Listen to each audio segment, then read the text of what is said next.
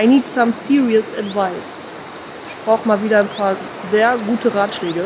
Ich gebe es äußerst ungern zu, aber ich bin so ein typischer Fall von 13 Jahre zur Schule gegangen, danach weder Wehr noch Zivildienst, auch kein freiwilliges soziales oder ökologisches Jahr, sondern nach dem Abi ein Bachelor, dann ein Master of Science und anschließend noch ein PhD in Elektrotechnik gemacht. Meine Herren, Sie können mir gar nicht. Mein Abitur habe ich hier in der Tasche und meinen Doktor oben klein. Hier ist mein Abiturientenzeugnis und hier mein Doktordiplom, hier mein Literaturpreis und das wird Sie besonders interessieren, lieber Schwiegerpapa, meine letzten Verlegerabrechnungen und mein Einkommensteuerbescheid. Und zum Zeitpunkt dieser Aufnahme hier bin ich jetzt 33 Jahre alt und wenn ich es mir genau überlege, habe ich in meinem Leben eigentlich nur drei Jahre als Angestellte gearbeitet. So kann's gehen. Ich fühle mich manchmal so, als ob meine Ausbildung, quasi Schule und Uni, total sinnlos waren. Ich brauche davon nichts mehr, habe ich das Gefühl. Was ist ein Dampfmaschine? Und ich frage mich, ob das nicht wirklich eine Zeitverschwendung war. Nicht, dass ich sonst nicht auch Zeit verschwenden würde, aber wenigstens macht mir das andere Spaß. Ein viel zitiertes Zitat von Elon Musk, das immer falsch zitiert wird. There's no need even to have a college degree at all.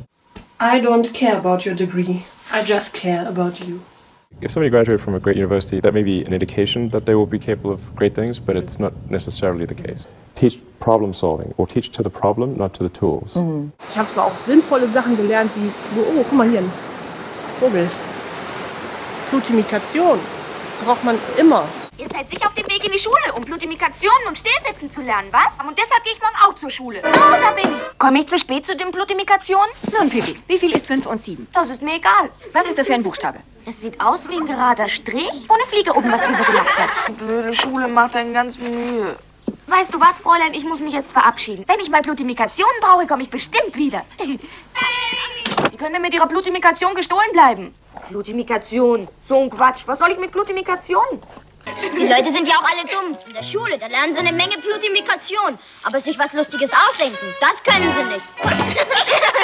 Ja, klar habe ich in der Schule was gelernt, aber wie sinnvoll war das? Also einen Meter zurück und alles rauchen! Kamera läuft. Also, welche Maßnahmen schlagen Sie vor, um den Bildungsnotstand in Europa zu heben? Also das Wichtigste für die Entwicklung und Zukunft der europäischen Kultur ist das Mitbestimmungsrecht der Schüler. Vielen Dank für das offene und ehrliche Wort. Gestorben. Peter, lass doch den Unsinn. Du weißt doch, wie sauer der Chef ist, wenn du immer deine dummen Witze machst. Erzähl mir nichts, die Leute wollen was zu lachen haben. Andererseits finde ich, es gibt ganz viele Sachen, die hätte ich mal lieber irgendwo gelernt. Hat mir aber keiner beigebracht, weder in der Schule, noch in der Uni, noch im Elternhaus. Sowas wie Haushalt brauche ich ständig. Aber bin ich eher so der Autodidakt. Ihr habt als Autodidakt niemanden, den ihr fragen könnt. Ich finde, so eine gewisse fundierte Theoriebasis schadet eigentlich nicht. Wenn man kein Autodidakt ist, wird man, glaube ich, mittelfristig Probleme in dieser Branche haben. Oder Finanzen, wobei ich das auch eher zu Haushalten zähle. Muss halt gucken, was man so braucht und dann muss man damit haushalten. Wie nur sollen die jungen Leserinnen zu ordentlichen deutschen Hausfrauen werden? Seht ihr? Wenn ich nicht aufgeräumt hätte, dann wüsste ich heute wenigstens, in welcher Ecke ich suchen soll. Ne, das ist immer ungünstig. Also im Studium ist ungünstig und nachher, wenn man gerade frisch anfängt, im Beruf ist auch ungünstig und dann will man ja auf der Karriereleiter ein bisschen vorankommen, ist also auch ungünstig. Und woran erkennen das die Weibchen? Dieses erkennen Sie einmal an der Farbe der Extremitäten und zum Zweiten ist es eine Instinktfrage. Es gibt also Dinge zwischen Himmel und Erde, von denen sich unsere Schulweisheit noch nichts träumen lässt. Also es ist alles in dem Schema, was die Frau gelernt hat. Intellektuell das Ganze abmessen, abwiegen, berechnen, fertig. Intuition, Bauchgefühl, hm, nö, ach wo, wozu denn? Dass es nicht darum geht jetzt, dass wir eine Nation in Zukunft sind, wo nur noch der Intellekt ganz oben steht, sondern es geht um ein menschliches Miteinander. Es geht darum, dass auch Menschen, die in der Vergangenheit vielleicht nicht unbedingt in Anführungszeichen anspruchsvollen Berufen nachgegangen sind, dennoch eine Rolle, eine wesentliche Rolle in dieser Gesellschaft haben. Und ich glaube, da müssen wir nochmal neu drauf gucken. Wir behandeln im Moment eine Gesellschaft nach rein ökonomischen Faktoren. Wir fragen einfach nur, wie viel verdienst du? Wir gucken, wie ist das Wirtschaftswachstum? Wir behandeln ganze Prozesse nur nach ökonomischen Kategorien. Aber so langsam merkt man, das sind nicht die einzigen. Und das merkt jeder persönlich, ja. Jeder, der zu Hause eine, was weiß ich, alternde Mutter hat, um die er sich kümmern muss, merkt, da gibt es noch etwas anderes. Und diesen Mut gemeinsam aufzubringen, zu sagen, lasst uns diese Kategorien nochmal hinterfragen, glaube ich, ist ein Thema. Und es ist nicht nur bei uns ein Thema, es ist, glaube ich, global eins. Ich finde, in der Schule wurde auch einiges weggelassen. What is education? Like you're basically downloading data and algorithms into your brain. Oh, ich weiß so viel. Ich bin schon wie ein Lexikon. It's actually amazingly bad in conventional education because like it shouldn't be like this huge chore. In fact, I think a lot of things people learn probably there's no point in, in learning them because they, they never use them in, uh, in the future. Because a lot of kids just in, in school kind of puzzled as to why they're there. like, Sehen Sie das da? Das ist unser Bildungsschuppen. Was wäre das Leben ohne die Schule? Diese einmalige Anstalt menschlicher Erziehung. Denn bedenken Sie, wir lernen nicht für die Schule, sondern für das Leben. Naja, schön wär's. Und ich muss leider zugeben, die größte Berufsgruppe in meiner Familie, das sind Lehrer. Ich fasse es nicht, das sind wirklich Lehrer. Meine Familie ist sehr klein, muss ich dazu sagen. Meine einzigsten zwei Tanten und mein einzigster kleiner Bruder sind Lehrer. Und das hier ist das alte Jugendzimmer meines kleinen Bruders. Und hier sind mindestens 35 Grad drin. Dachgeschoss.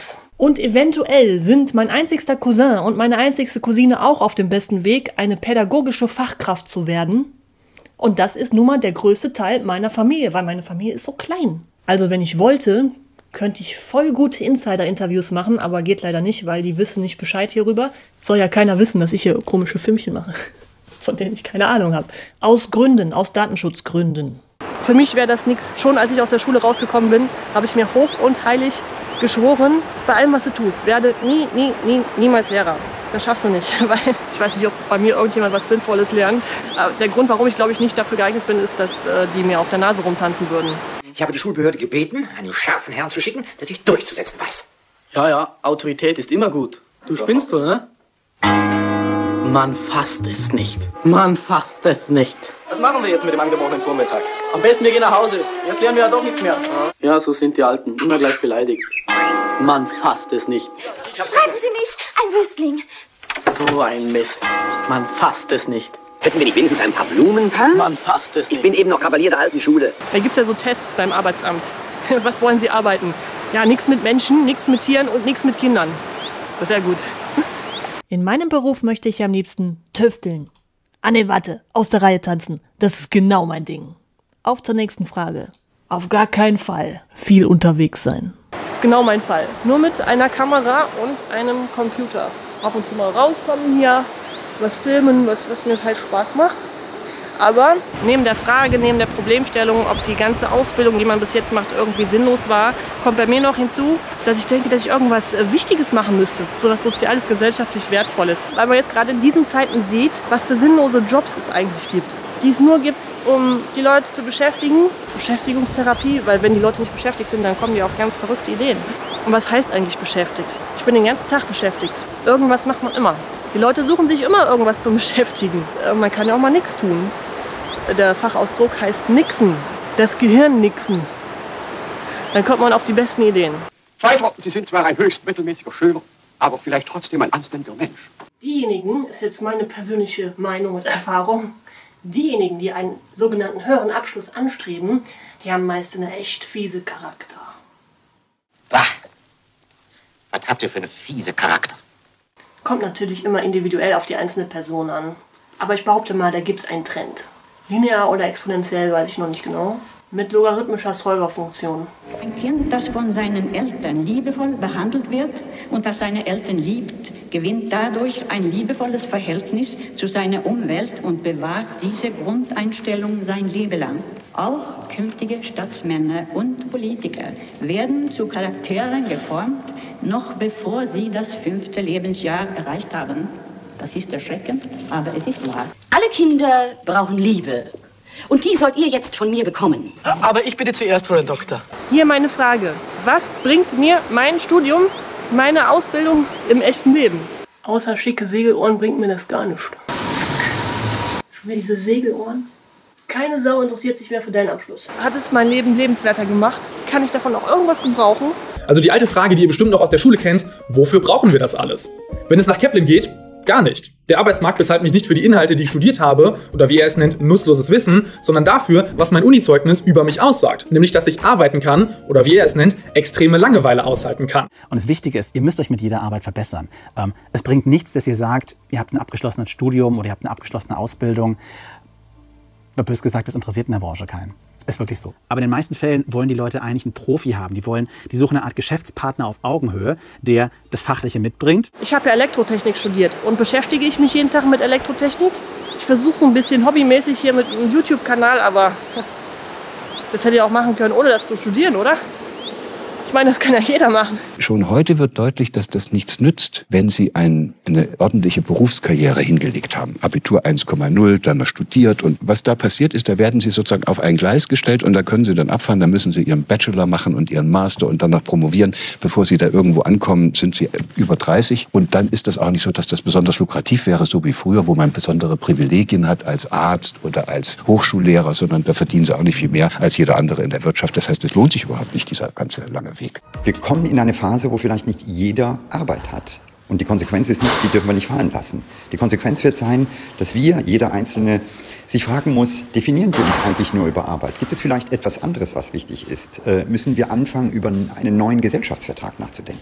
Und die Frage heißt jetzt, wenn das in Zukunft so ist, dass viele Tätigkeiten, die heute noch von Leuten in Berufen ausgeübt werden, in Zukunft von Maschinen übernommen werden und dann zwei Drittel derjenigen, die heute in der Schule sind, eigentlich gar nicht mehr wissen, wo sie hin sollen, was ist denn dann die Qualifikation, die man braucht? Die Zuschauer müssen es eigentlich selber rauskriegen, weil das nützt nichts, dass man denen das sagt. Welche fliegen denn zuerst raus? Jetzt komme ich zum Punkt, der nur deshalb arbeitet, weil er Geld damit verdient. Und dem die Arbeit eigentlich per se scheißegal ist. Das sind die, die alle rausfliegen. Und jetzt heißt die Frage, woher haben denn die ihre Lust am Arbeiten verloren? Weil es nicht ihre Berufung ist, sondern ihr Beruf. Sie müssen es machen. Weil sie schon die Lust am Lernen verloren hatten in der Schule. Die hatten schon keine Lust aufs Lernen, deshalb haben sie irgendeinen Beruf genommen, der ihnen gerade mal so eingefallen ist. Und manche werden auch damit Hochschulprofessor. Also wir sind hier nicht in einzelnen Berufsbildern, sondern wir sind in einer Karriere, die dadurch geprägt wird, dass ein Mensch eigentlich nur arbeiten geht, weil er Geld verdienen will. Der gar keine Lust an dem hat, was er da tut und deshalb dort auch nichts gestaltet und deshalb das, was er dort macht, so mechanisiert ist, dass man es auch locker durch Automaten ersetzen kann. Das heißt, in Zukunft werden all diejenigen keinen Job mehr haben, die in der Schule ihre Lust am Lernen verloren haben.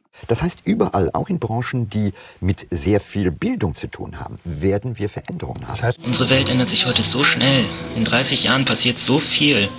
Und wir werden so viel Veränderung allein die nächsten 10 Jahren wiedersehen. Wir können mitgehen oder stehen bleiben. Stehen bleiben sieht manchmal besser aus. Aber Veränderung ist schon immer gewesen, wie die Welt funktioniert hat.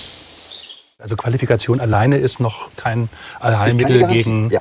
Äh, Aber das, äh, Arbeitsplatzverlust. Was, was mir wichtig dabei ist, ist, ist nicht nur zu sagen, dass alles ist eine Dystopie, wir rutschen in ein furchtbares Zeitalter. Ich glaube, dass es eine enorme Chance ist.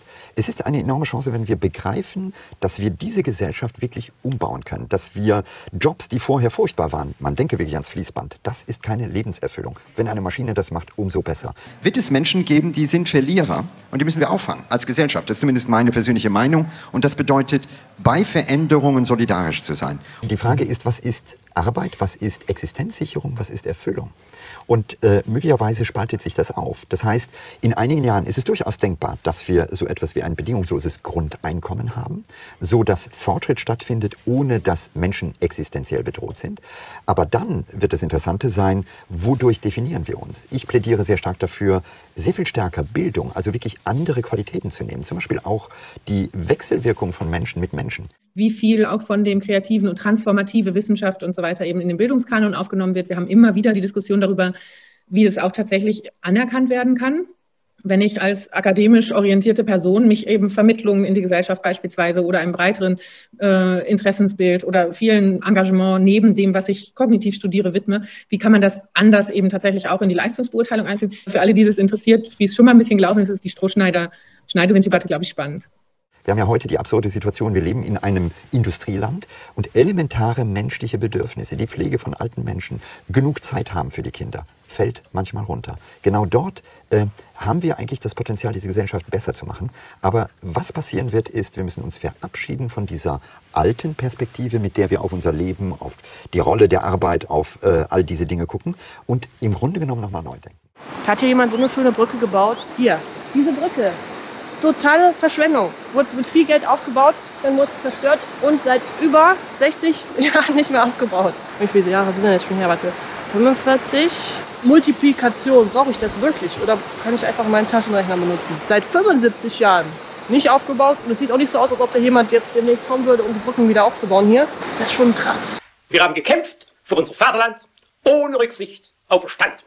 Äh, Verluste. Hinten ist noch eine richtig alte, da, so eine richtig historische alte Laterne. Interessiert keine Sau mehr. Aber schön ist es hier schon. Vor Dingen sieht der Fluss auch gar nicht so tief und gefährlich aus. Da könnte man bestimmt durchwarten oder schwimmen, wenn man wollte. Da haben sie hier so einen Elektrozaun aufgestellt. Da bin ich ganz leicht drüber gesprungen, ohne ein Gewicht zu bekommen. Der hat gar nichts gebracht. So, jetzt bin ich in der verbotenen Zone. Offiziell ist der Zaun auch nur da wegen der äh, Wildschweinpest und nicht hier, um die Grenzen dicht zu machen. Einige behaupten, zu viel Akademiker, die man nicht gebrauchen kann. Zu wenig Auszubildende, die einfach nur fehlen. Deutschland fehlen die Fachkräfte. Gleichzeitig wollen immer mehr Leute studieren. Seit 20 Jahren gibt es immer mehr Erstsemester. Aber was, wenn das jeder so macht? Dann haben wir ein großes Problem. Steigende Studierendenzahlen kann man als Geldverschwendung sehen und je mehr Leute studieren, desto weniger machen eine Ausbildung. Und das führt dazu, dass uns Fachkräfte fehlen, zusätzlich noch zum demografischen Wandel. Du musst ja erst einmal einen Beruf haben. Was hast du dir überhaupt gedacht, dass du werden willst, so ohne Abitur? Komm, wollen wir mal überlegen, ja? Nur in Deutsch sind Sie mangelhaft. Ja, Deutsch, äh, Deutsch liegt mir nicht. Das ist schlimm. Was wollen Sie denn einmal werden? Ja, das, das weiß ich noch nicht. Suchen Sie sich einen Beruf, bei dem Sie nicht viel zu schreiben haben. Am besten werden Sie Zahnarzt. Bitte? Vielleicht sollte ich nochmal was studieren, dann fühle ich mich wieder jung. Oder doch besser eine Ausbildung? Moment, ich habe hier so einen Test gemacht. Bei mir kamen da wirklich ganz, ganz komische Ergebnisse bei rum. Ich glaube, ich sollte Schreiner und Tischler oder sowas werden. Also wirklich überhaupt nichts mit dem, was ich heute mache. Und wir haben mal bei uns im Team rumgefragt und da sah das nicht anders aus. Einer von uns sollte Orgelbauer werden und ein anderer Fischwirt. Dein Berufscheck-Ergebnis. Bachelor of Engineering Elektrotechnik inklusive Berufsausbildung. Ich habe jetzt keine Bildschirmaufnahme während des Tests gemacht, aber ich schwöre, das kam da bei mir raus. Berufe entdecken. Game Art and Animation, Game Programmer, Textil- und Modenäher, die wenigsten Treffer, Metall- und Glockengießer, Präparationstechnischer Assistent, Grafikdesigner. So, und jetzt bin ich mit der Uni durch und warte immer noch darauf, dass mir irgendjemand sagt, was ich machen soll. Aber da missverstehen Sie mich richtig, denn langweilig ist mir auf gar keinen Fall. Ich habe genug zu tun, auch wenn ich mich dabei im Kreis drehe. Ich glaube, das Wichtige in diesem Land, in dieser Branche, ist gar nicht so sehr die Ausbildung, sondern die Attitüde, die man dahinter legt. Und der Vorteil dieser Ausbildung ist, dass man sofort ins Business reinkommt. Also ihr fangt an, ihr lernt und ihr seid gleich in einem professionellen Umfeld, wo all das auch angewendet wird, wo dafür Geld bezahlt wird, anders als im Studium. Eine wichtige Frage, die man sich, glaube ich, stellen muss, bevor man entscheiden kann, welcher Weg für einen der wichtige ist, ist so ein bisschen, wo man eigentlich sich künftig sieht. Wolltet ihr nicht schon immer mal bei einer Magisterarbeit helfen? Und mit so einer Ausbildung bringt man in der Regel ein solides Skillset mit. Studiengänge gibt es natürlich genauso, weil man lernt in der Regel immer eine Mischung aus einem theoretischen und praktischen Grundgerüst. Und das kann auch ein solider Einstieg sein. Weniger, weil man bei vielen Hochschulen jetzt fachlich so unfassbar viel mehr lernt als zum Beispiel in der Ausbildung, sondern vielmehr, weil man beim Studieren meistens ähm, interessante Kontakte knüpfen kann, die einem später weiterhelfen können. Ja, so, folgende Frage. Welche Ratschläge würdet ihr einem jüngeren Ich von euch mit auf den Weg geben, damit der oder diejenige sein Leben lebenswerter gestaltet? Damit das eigene Leben ein bisschen lustiger gelaufen wäre. Anders. Aber man kann ja nicht alles sofort immer gleich wissen, wie es läuft. Man muss es ja auch ausprobieren. Trial and Error. Einfach mal ausprobieren. Das wird schon. Haben Sie ein Lebensziel? In der Schule haben Sie es nicht gelernt, da würden Sie ja was fürs Leben lernen. Überlegen Sie mal, ist in der Schule jemals darüber geredet worden? Wahrscheinlich nicht, wenn, dann war es eine Ausnahme. Da lernen Sie Wurzel ziehen. Und dann wird behauptet, dass Sie dort etwas fürs Leben lernen würden. Das könnte ein Lebensziel sein. Ich will meine Anlagen, Talente stärken, optimal ausbauen und ich will den Menschen, mit denen ich zu tun habe, auch helfen, das zu tun, so sie das wollen. Wir wollen ja niemanden zwingen dazu. Wir sollten uns einfach darauf konzentrieren, ähm, ja, wie wir miteinander weiterkommen können. Denn ich finde, untereinander ist man eigentlich immer irgendwo Kollege und wir können voneinander lernen. Und das ist eben diese Attitüde, die vor allem das Studium vermittelt. Mein Ratschlag, mach das, was für dich das Richtige ist. Und ich weiß, dass das gerade so klingt wie die Oma und ich effektiv keinen richtigen Ratschlag gegeben habe, der irgendwie sinnvoll ist. Aber das ist irgendwie so das, was ich als Lebensratschlag mitgeben kann. Nicht jeder Zweck von einem Studium lässt sich finanziell messen. Ich werde dafür sorgen, dass diese Anstalt von den Nichtskönnern befreit wird, die dem Staat und ihren Eltern das Geld aus der Tasche stehlen. Da können Sie ruhig drüber verfügen. Wirtschaft und Bildung Hand in Hand, sagt mein Vater immer. Sehr vernünftiger Standpunkt. Was ist mit meiner persönlichen Entwicklung, die ich während eines Studiums durchmache? Unabhängigkeit, Freunde, eine neue Sicht auf die Welt oder einfach nur spannendes Wissen über Themen, die mich interessieren. Charakterentwicklung. Das ist super wichtig, lässt sich aber nicht in Geld aufwiegen eine Zeit mit der Chance enormen persönlichen Wachstums. Also in der Zeit habe ich, glaube ich, so viel charakterlich und, und über mich selbst gelernt wie noch nie vorher. Also die Chance ist riesengroß, da einiges aufzuholen, was man bisher im Leben verpasst hat. Und es gäbe ein Lebensziel, vom Ich zum Selbst zu gehen. Das kleine Ich ist der Teil unserer Persönlichkeit, den wir als Selbst bezeichnen, wo unsere Programme, unsere Hoffnungen, Wünsche, Ängste, wo alles drinsteckt. Und da hängen wir ja sehr dran. Und das Selbst wäre dieses übergeordnete, etwas Größere, das alle Menschen verbindet. Wenn ich näher ans Selbst kommen würde, würde ich nicht mehr so viele Leute ablehnen. Und genauso, dass die Skills aus einem Studium Schwachsinn sind, kann ich nur begrenzt verstehen. Auch wenn du vielleicht mal irgendwo arbeitest, wo du die Informationen aus deinem Kulturwissenschaftenstudium nicht konkret brauchst, gibt es ja trotzdem Skills, die erhalten bleiben. Quellenarbeit, Zeitmanagement oder Argumentieren. Figure out how to build a life with low enough overhead where you can be a creator of ruckuses, the kind of person that goes into the world and makes things better by making better things over and over again. Because that's how you're going to learn how to fail. That's how you're going to learn how to solve interesting problems. And then the world will start a line at your door instead of you having to get picked by them. They're going to say, please help me with this problem. And that's what we need to be known by. We need to be known by our work, not our resume. Hmm. Mit allem, was dazugehört. Und mit allen Lebensläufen, die dazugehören. Wenn das alles gleichwertig wäre. Gleichwertig und gleichgeschätzt in der Gesellschaft. Ja, und das wünsche ich mir für die Zukunft. Jetzt kommt ein bisschen mein Traum und mein Ziel ist das hier. Das ist nicht diese Ego-Gesellschaft, das ist eine Wir-Gesellschaft. Ich glaube einfach, dass wir alle im Grunde genommen am glücklichsten sind, wenn wir anderen wenn wir wissen, dass eine Gesellschaft gut dabei ist. Wie alt bist du? Such dir einen Job. Ich bin 29 und das hier ist mein Job. Ich mache nichts anderes als Videos. Ich weiß, es ist dämlich. Ich arbeite für mich, denn das hier ist mein Leben. Die Vorstellung von deinem perfekten Leben mit perfektem Job wäre wahrscheinlich meine perfekte Hölle. Und ich werde nicht versuchen, in dieser Hölle zu leben, nur um in deinen Augen irgendwas wert zu sein. Und ich kann mit mir und meinen Mäusen was zu fressen kaufen und das reicht mir. Mmh, aber ist das Avocado? Probier mal. Richtig gut. Wie alt bist du? Such dir einen Job. Ja, und ich denke, das fasst alles zusammen. Das ist eine 1A-Bastelarbeit mit umfunktionierter Jakobsleiter. Ein Herz mit Funkenstrecke. Mit Symbolik. Hier mit Status-LED. Also bei diesem Filmchen hat man hoffentlich gemerkt, dass einige der Moderationsaufnahmen ein, zwei Jahre alt sind. Weswegen es auch beim Schneiden nicht ganz klar war, wo das Video eigentlich hin will. Ins Internet. Ich wollte noch irgendein Fazit ziehen, genau. Ende letzten Jahres habe ich noch mal eine Art Zusammenschnitt, ein Medley-Filmschnipsel-Video über meine Studienzeit gemacht und ja, habe ich mir jetzt nochmal angeschaut und muss sagen, ja, eigentlich war es schon eine schöne Zeit. Nicht eigentlich, es war schön, weil für mich war es so, ich weiß, das gilt nicht für jeden, aber für mich war es so eine Art sorgenlose Experimentierzeit. Jetzt bin ich ja erwachsen. Wir könnten uns entscheiden, erwachsen zu werden. Und das Kind lebt in einer heilen Welt zunächst. Nicht wahr? Wenn es Hunger hat, schreit es, wird gefüttert und so weiter. Dann wächst es heran, dann begreift es, dass die Welt nicht ganz so heil ist, wie es eigentlich gehofft hatte, dass da Probleme sind. Aber es gehört zum Kindsein, dass man dann schreit nach jemandem, der hilft.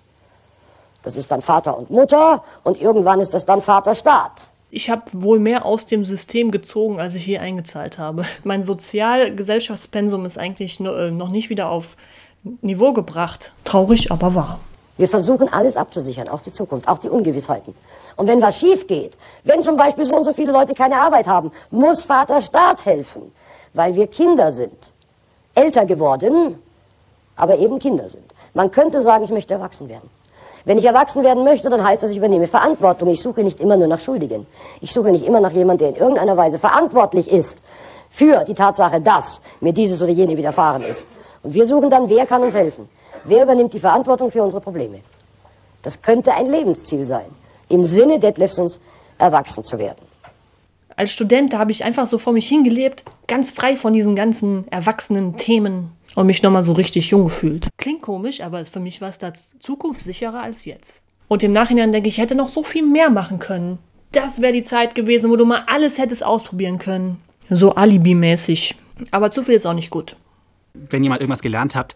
Ich glaube, euch muss ich das nicht sagen, denn ihr seid alle Zuschauer auf YouTube und guckt euch ja so einen Content an. Das Zeug veraltet so schnell. Das Zeug veraltet einfach so schnell. Es kommt permanent neue Technik raus, die ermöglicht es uns Dinge zu tun, die die Workflows verändern und plötzlich können wir anders arbeiten oder müssen bestimmte Dinge nicht mehr tun. Deswegen die Bereitschaft, sich weiterzubilden, die ist in dieser Branche so wichtig, weil ihr nicht nur alle paar Jahre mal irgendwie auf einer Tagung die neuesten Dinge lernt, sondern weil ihr gefühlt ständig am Puls der Zeit sein müsst. Allein auch deswegen, um immer wieder neue Trends aufzunehmen, visuelle Trends aufzunehmen, so zu wissen, okay, was gucken die Leute? Diesen unbedingten Willen, ständig zu wissen, was es Neues gibt und Neues auszuprobieren. Das ist eine Art, die teilweise sogar auf Ablehnung stoßen kann. Das merkt man insbesondere, wenn man sich in etwas konventionelleren Kreisen ab und zu bewegt. Wenn ihr Abi habt, dann äh, seid ihr ja quasi äh, Hochschulstudienberechtigt. Schaut euch mal nach Studiengängen um. Guckt mal, worauf die ihre Schwerpunkte liegen. Die sind nämlich mitunter ganz schön unterschiedlich. Die Praxiserfahrung vorm Studium zu haben, finde ich, ist echt eine hilfreiche Sache, weil ihr schon mit einem viel geschärfteren Blick ins Studium reingeht. Das Studium, meiner Ansicht nach, ist eben nur so gut wie auch die praktischen Erfahrungen, die ihr während des Studiums sammeln könnt. Und die zu holen, liegt komplett bei euch. Da wird euch kein Prof drauf hintriezen. Die lassen euch nach drei oder vier Semestern aus dem Studium raus mit Note 1,2 und ihr habt im schlimmsten Fall keine Ahnung, wie ihr daraus jetzt ein Business macht. Das ist eben der wichtige Punkt. Weil teilweise die Leute in das Studium reingehen und sagen, "Oh." und ja, dann studiert man so vor sich hin und fragt sich irgendwann, wo ist denn der Markt, der jetzt nun auf so wie mich wartet? Der ist nicht da. Er wartet zumindest nicht. Er ist vielleicht da, aber er wartet zumindest nicht. Soft Skills und Hard Skills. Also in der Uni hat man noch mehr so ein Ziel. Man weiß, ich bin jetzt in dem und dem Semester und muss da durchkommen, na klar. Aber ansonsten, nächste Ziel ist dann das nächste Semester erstmal. Und das reicht ja dann auch. Damit bist du dann erstmal beschäftigt und kannst ja nicht so viel Sorgen um deine sonstige Lebensplanung machen. Soft Skills. Was habe ich alles gemacht? Ich habe Filme geschnitten, die sich keiner angeschaut hat.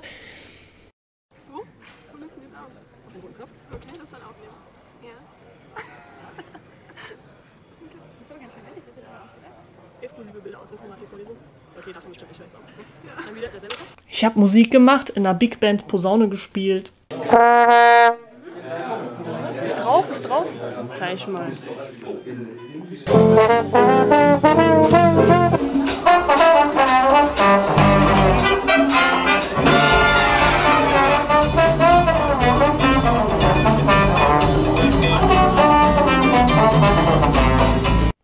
Unisport. Also pass mal auf. Ja, dann hier das auch das linke über das rechte. Einmal durch. Und dann, was richtig? Aufstellen. Und dann. Sind das machen ist das so. Hagehucke. Zwei. Drei. Ha! Und dann fertig.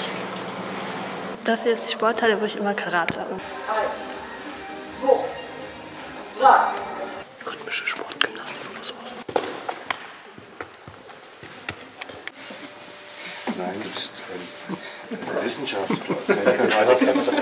Sprache habe ich zweimal einen Russisch-Grundkurs angefangen und jedes Mal das Handtuch geworfen. Sophia. Eine russische Aufzeichnung. Neue Sprachen lernen war jetzt nicht so mein Fall. In der Fachschaft war ich auch mal zu Besuch. Da hast du dir aber eine kleine handliche Kamera zugelegt.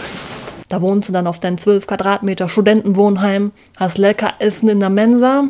Es gab auch damals schon veganes, leckeres Essen in der Mensa. Was brauchst du mehr? Hat mal so eine Art Freischein. Ja, ich bin Student, ich darf das. Ein Studium ist ein sicherer Raum. Ihr seid über ein paar Jahre relativ günstig im Leben unterwegs. Ihr habt eine saugünstige Krankenversicherung oder seid noch familienversichert oder sowas. Ähm, man hat in der Regel nicht so hohe Kosten, außer man wohnt irgendwie in München oder Frankfurt oder so.